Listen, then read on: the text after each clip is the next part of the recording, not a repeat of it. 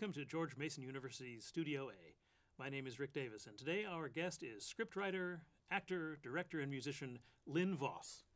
Among Lyn Vaus's films are The Darien Gap, Next Stop Wonderland, Temptation, and the documentary biography Siegfried and Roy. Please welcome Lyn Vaus. Thanks for being here today. Glad to be here. Great to have you. As, as that introduction suggested, you've had a very diverse career, uh, done a lot of different jobs in the in the film industry and, and also some music. Um, how did you get started in uh, in the screenwriting business? All of it, really. Well, um, it was quite a while ago. There was an ad in the newspaper. I was a student at uh, UC Santa Cruz, and uh, Al Pacino's production company had placed an ad: scripts wanted. I was naive enough to think that he was talking to me, and uh, so I wrote a script, uh, and that was the first script that I that I ever wrote. Um, I thought if they were advertising in the paper, that, that, that obviously there was a shortage of scripts. Yeah, really.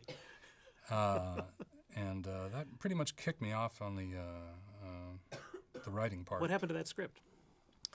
Uh, that script actually was optioned. Um, uh, at that time, the options were only less than about three months, and uh, I can't remember how much money it was, but it seemed like a, a, a fortune to me at the time. I thought that my career was going to rocket into the stratosphere at that point. Um, they didn't pick up the option, so after the three months, it, it expired, and I moved out of my swell apartment in Westwood and ended up living in my car. Really? Yeah. Well, that's a, uh, a typical riches to rags story, right? But uh, but I, I do think you're the only person that I'll probably ever talk to who uh, answered an ad in the paper, wrote a script, and, and got paid for it.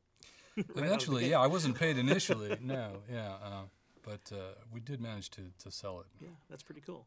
And then, of course, you've also uh, acted in films and done some directing as well. How did how did those things evolve? Well, uh, in terms of acting, I've only ever acted when people have asked me to act. It's never something that I've that I've pursued at all. Um, so I've been fortunate that people have asked me occasionally to act, and although I enjoy it, uh, I enjoy the activity. What I don't enjoy quite so much is the lifestyle that goes around it, the insecurity, the constant hustle, and uh, I, I admire people that can, are psychologically strong enough to do that, to carve out a career for themselves as actors. But um, I prefer the uh, uh, the uh, and the anonymity and the uh, seclusion of writing. But you've actually crossed over uh, that border of anonymity in your own work, right? You've you've actually acted in, in your own screenplays. I have. I mean, for instance, in Temptation, which is uh, a film that we'll look at in a little bit, I played the uh, the lead role, but that's because Philip Hoffman was busy, and the ball was rolling. We had to get somebody in that role, um, so I sort of jumped jumped in there. But um, given my uh, druthers, I'd rather not. Yeah, that's pr- that's pretty amazing though to, to be Philip Hoffman's uh, second. are Well, you in, are you in line behind him for Well, any I know projects? I know Philip a little bit. I mean, he was he was in. I actually directed him uh, second unit on Next Stop Wonderland. So um, Fabulous. yeah, he's he's a he's a really great actor, and uh, it would would have been nice if he'd have been in the picture. I think you did great. Thank you. um, what about the, what about your musical life and career? Well, music music is, is always something that, that I've that I love because you can pick up a guitar and you're making music. Film you have you have to do so many different things in order to catalyze all the elements uh, and get get the ball rolling and have it made. And it can seem very glacial. It can seem like it takes a really long time, and sometimes it does take a really long time.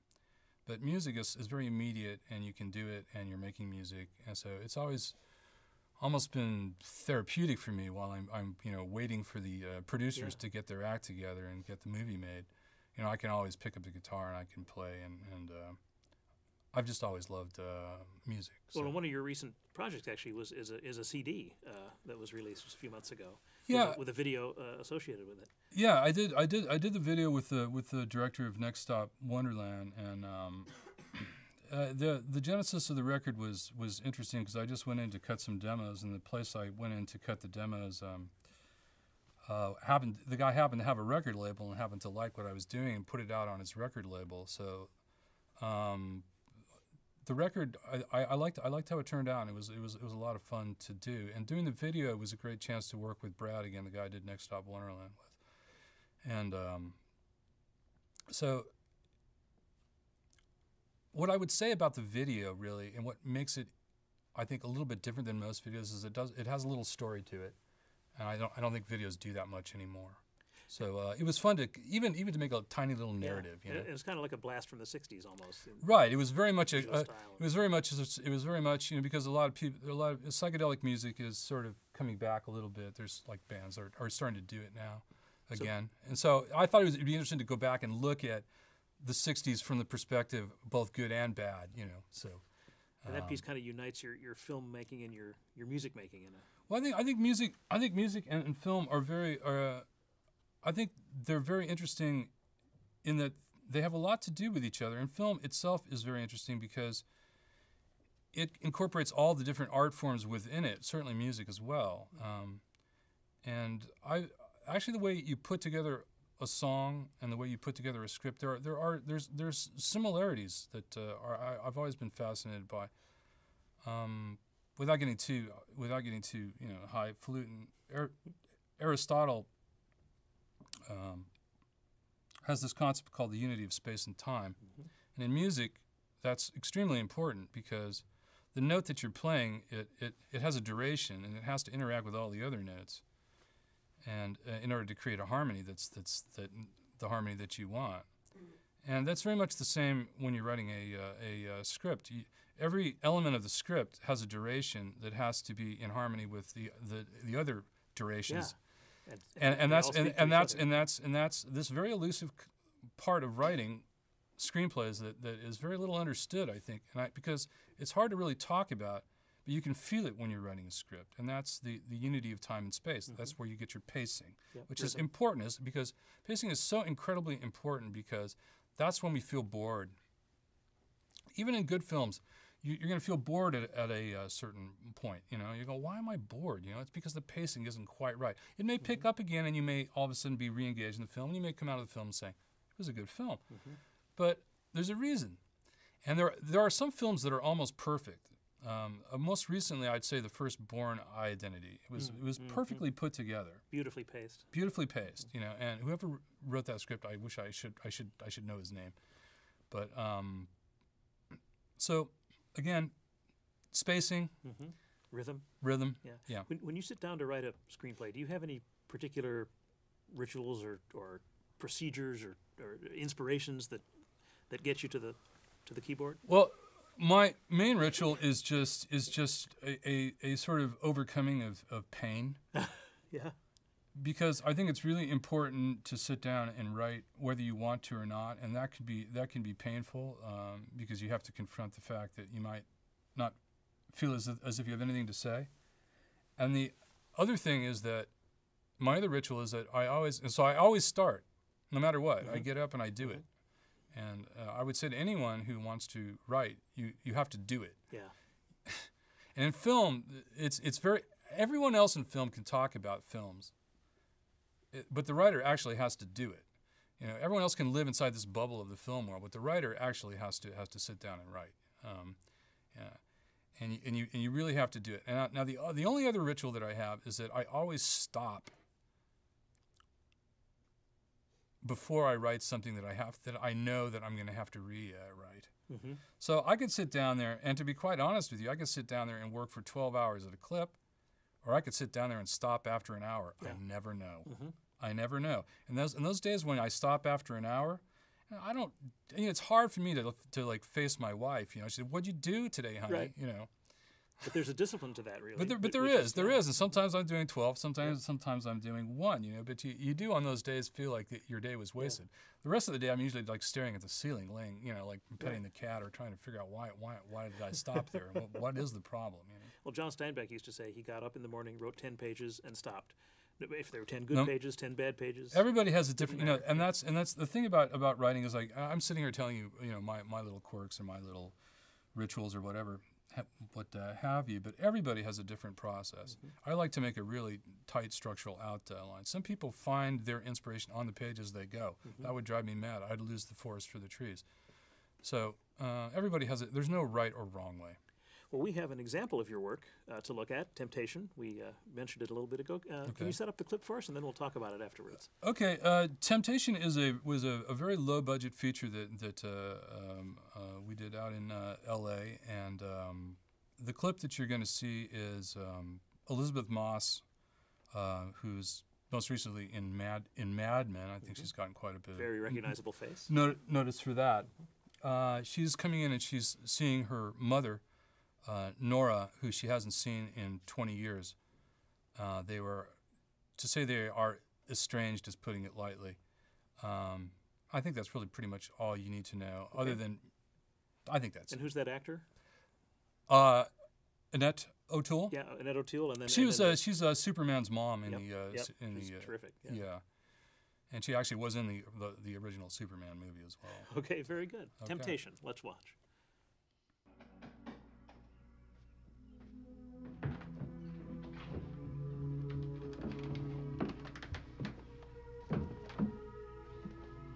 Forgive me, wind. I forgive you. Join me in the healing circle. Nora, cut it out. I'm here, aren't I? I'm not Wind anymore. I am Morgan.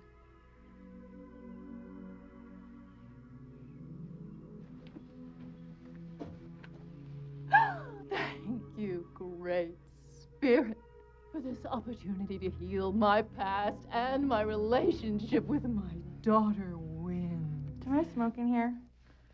Look, Nora, uh, Dad and I got over it, so why don't we all just move on? Amanda works for Exxon. She's a lobbyist. Amanda, this is Nora, my erstwhile mother, and that's Phil, her second husband, who she cheated on my father with. How's it hanging, Phil? Are, are you hungry, dear? Um, Phil has uh, uh, cooked some delicious. We actually have to leave tomorrow night for D.C. I'm litigating a Fed case. Not bad for someone who just passed the bar a year ago. How about you brief me on the offers you've received to date, and then we'll review the libel risk. Because of my standing in the industry, I have received lots of offers. I'm not sure how many, but I'm very conflicted wind about the whole thing. Let's see. The highest offer I received was for, let me think, a five hundred thousand Uh, we'll get a third more at least. Let's set some basic terms. Uh, in order to receive maximum leverage, I'm going to need to have full authority to negotiate on your behalf, and I want 15%. Fifteen percent. I, I thought that lawyers only got five percent. Stay out of this, Phil. This is my daughter. Now, is Amanda going to be involved? Amanda's my partner, You're also a lawyer. my life partner. I love your daughter. But this is wonderful. I myself experimented with bisexuality back in San Francisco. I remember one film I directed. This isn't a porno experiment, Mother. This is my life. Amanda and I certainly don't think it's wonderful that we can't adopt a child or receive workplace benefits. Well, dear, maybe if you weren't a Republican. I knew it. I flew all the way here, and in five minutes, you are already criticizing me. Let's go. It's a great little clip because it has a, a whole little story right within it. uh, so that's that's a nifty piece of writing. Uh, what led you to that particular story, or the story of the of the film? Well, um, one day I was sitting around trying, and I was I was sitting around trying to imagine the most absurd, the most absurd form of of. Don, let me put this: Don Quixote is my is my is my favorite book. Ah, I, I'm I'm very I'm I'm very much taken by people that are, are attacking windmills in their mind, and I thought, what what is the most would be- the most absurd um, situation for a person to say, I want to reform this, I want to reform something. And I thought, what if a woman was a, a really was truly a feminist and she wanted to reform the pornographic industry and she wanted to make films that were friendly to women and she wanted to reform the business itself. And uh, I, I just there was just something so absurd about that that it just seemed like it was full of a lot of comic possibilities. So the character of Nora was born, who essentially is at war with pornography from within now. She insists that she can make pornographic films that, and of course, the films she makes are terrible. No one likes them. Feminists don't like Right, them. right. People that watch pornography don't like them. So nobody likes them. So she, she loses everything and she ends up sort of like Norma Norma Desmond living in her own mind, living with her, you know, her husband who's basically just a like a like a, a rent boy basically, It's a great premise. played And- by me. Yeah. Uh, yeah, uh, and very well. Uh, another neat thing, just about that little clip, real quickly, is the, is the camera work. That's sort of that that that those fast. Uh, they're not really cuts. They're Well- really just pans. Well, yeah, yeah, we, we were very much inspired by the Dogma '95 Yeah, film film can see that. movement, um, and um, at the time that was like a really big big deal where you could take a PD 150 and you could go out and you could make a movie and you could do jump cuts, and you didn't really care about the lighting and all that Mm-hmm. sort of thing. Um, so that was very liberating, and we, we shot seven pages a day on that movie. Uh, it was it was really made lightning fast. We made the entire movie in 18 days. Wow. Uh, so everybody just kind of jumped in and Yeah, did it. It has a real energy to it. Yeah, and I think I think that the, I think that like any any anybody starting out today can do that, and that's like when I first started out, like in the '80s, you couldn't do that. Now you can you can you can make a horror film for five thousand dollars. You know, I wouldn't I wouldn't if I were starting out today, I wouldn't write I wouldn't write a script and try and sell it. I'd write a script and I'd make it. Yeah. Well, Right speaking now. of starting out, let's uh, let's turn to our students and see if they have any questions. Who would like to be first? Yeah. Hi, whenever you finish a project, when you complete a project, do you usually take a break before you start your next next project, or do you jump right into it? Well, um, it really sort of depends. Um, if if someone's asking me to do uh, something, uh, if someone's asking me to do it, I I do it uh, because I'm, I'm paid to do it, and that's what I do. I mean, money is a part of why I make the decisions I make. Um, you'll find that people in film, there are very few people in film who can afford to completely disregard financial considerations and say they're well, I'll take this project, but I won't take that project, for example. Um, so, uh, fortunately, I'm fortunate because because the because the uh, the uh, projects which are presented to me are generally ones that, that I would that I that don't contravene uh, what I would do anyway. Um, so that's not a problem. But on the other hand, would I like to take some time off? Yeah, I'm drained usually because um, you, you're expected to have a finished screenplay in two to three months, and that's that really does mean that's there's there's there's quite a lot of pressure on you to uh, do that. Um, so I would prefer to yeah take some time off. Good. Uh, another question. Yeah. I was wondering what you think are the most common mistakes among, among young screenwriters. Uh, I think the most common mis- mistakes are believing that you're done when you're when you finished your script because rewriting is something that I think is extremely important and um, we always feel when we're when we get that, that first flush of like oh I've finished it it's perfect um, it's not and put it aside for a little while if necessary, and, and go back uh, to it. You'll find that there's there's more uh, to be done. Um, I think that's that's that's really the first thing. Just just keep working on it. Good advice. Another question. Yes. Are there specific aspects um, which draw you to some of these film projects?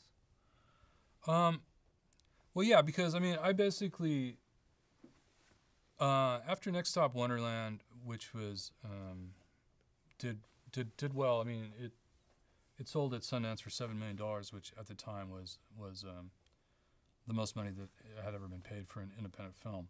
That was uh, 98, was that right? In '98, yeah. I had a lot of opportunities, um, and uh, I found that I found that those opportunities were basically to do another romantic comedy. That's all anybody wanted because, well, the last one had sold for seven million dollars. So obviously, this guy writes romantic comedies. That's what he's going to do. You know, I wasn't interested in that so much. I ended up doing a lot of other different things, proposing to do a lot of other different things, and I've I've always pretty much just done what it is that I wanted to do because I don't think if you try and write something that isn't you, it's going to fail. Um, You wrote a. Uh, you've written feature films, obviously different genres, uh, and this other work we've talked about. But one thing we haven't talked about, except in the open, is uh, Siegfried and Roy, which is actually a Right. an IMAX 3D biographical documentary, a whole different uh, cup of tea. How did you get involved with that? Well, that's that was that was probably the strangest project I, I ever had to do. Uh, uh, I I, you know, how that came about. A, f- a friend asked me, you know, if I'd be interested in doing it, and I, I told him flat out. I said, you know, that's really not the sort of thing that that I would ever think to do. He said, you know, they're not who you think they are. um, and I said, well, I'll certainly meet that with them. So I went and met with them, and I found that, you know, that the whole caricature. I don't know if if if, if the audience even remembers Sig uh, Siegfried and Roy. Um, because they, they haven't really been performing for a few years now, but they, they used to be the, the, most famous magicians in the world, and uh, they had a huge audience. Long running Vegas. Yeah, yeah, yeah, and uh, TV as well. Right. So, but they but they were definitely the, the butt of jokes, you know, uh, and we're not taken seriously. And I just thought it would be cheesy. And I said to him, I said, well, you know what? If it's a camembert, if you'll let me do a camembert, you know, instead of just like Cheez Whiz, you know, I, there's going to be cheese here. I, I didn't know, you know. But then I went and met with them, and, and they had a they, they had they had a and their and their history is really fascinating because they spent a lot of time in Europe and they did very sophisticated type shows and and and they're and they're very and they're they're a lot different than you might imagine them to be. They're they're public personas, and I said, well, I wanted to do the project if I could show that, and if I could also talk about the fact that, that both of their parents were Nazis. They said, okay, great. You know, so so I, I, was allowed to do all those things that I wanted to do, except of course mention the fact that their parents were Nazis. Right. So in the final film, uh, I had to I had to. Every time I came close to saying that they that they were, a, I couldn't even say Nazi Germany. So I said that they lived in pre-post World War II Germany. That's beautiful. and when the film came out, the, the critic in the New York Times said, you know, that, that saying they lived in pre pre post World World War II Germany was he made me akin to like a Nazi apologist. Wow. Or you know that I was anti-Semitic or something, and I euphemistic at least, right? Yeah, yeah, yeah. and I and, and uh, um, but but I was very pleased that that that, that Owen Gleiberman in, in um, Entertainment Weekly said in a, in a you know a fairly positive review said an eerie myth emerges. So I was able to I was able to suggest all the dark forces behind that behind without ever actually saying yeah. Nazi Germany. Well, this is a perfect lead-in actually to the clip that we have, which okay. which is distinctly uh, eerie in some yes. in some ways, and kind of shows that old Germany uh, right. Uh, aspect. I was bit. very inspired by Leni Riefenstahl's yeah. movies, actually. Oddly so, enough. So this clip is not going to look like your average uh, documentary footage. Let's uh, let's watch a clip from Siegfried and Roy. Animals have an emotional language that we can connect with when we are absolutely in the moment with them. This magic connection saved my life and became my life.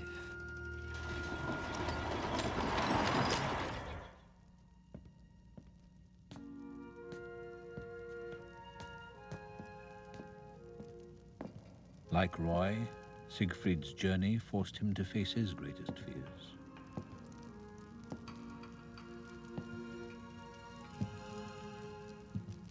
I decided to show my father my first magic trick.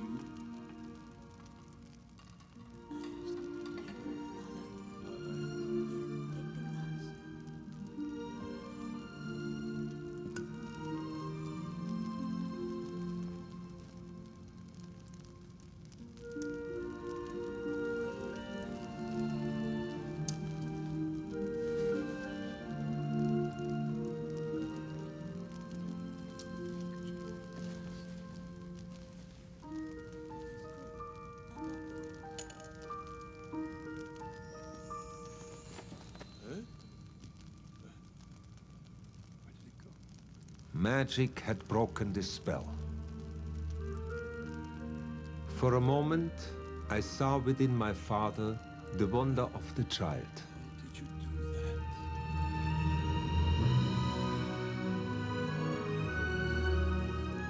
Magic would become my life, and in my heart, I felt its awesome power.